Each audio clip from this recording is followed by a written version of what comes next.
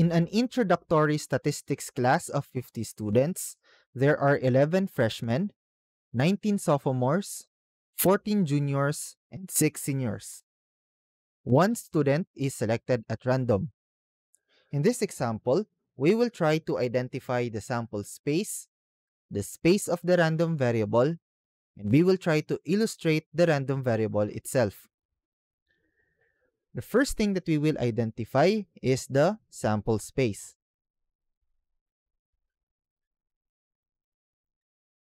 In our lecture, the sample space are the possible outcomes of our experiment. And we usually denote it with the letter S.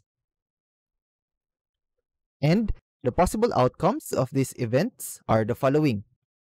We either get a freshman, a sophomore, a junior, or a senior.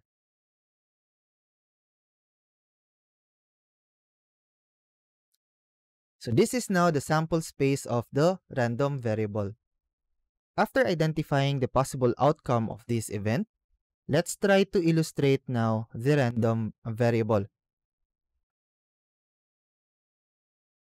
We will denote this random variable as x. And since we have four possible outcomes, we will try to assign numbers to each outcome. So for this case, I will use 1, 2, 3, and 4 to represent the outcomes freshman,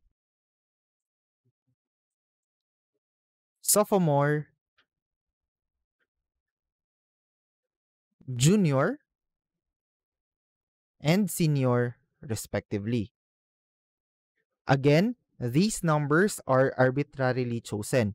You can either choose 0, 1, 2, and 3 to represent the four outcomes respectively or any number that you can imagine. The reason for that is the outcomes doesn't represent any numerical value. Finally, let's try to identify the space of the random variable.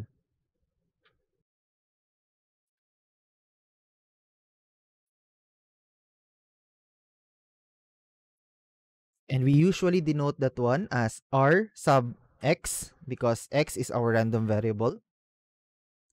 And the space are 1, 2, 3, and 4. So these are the sample space, the space of the random variable, and the random variable itself. Thank you very much for watching and have a good day.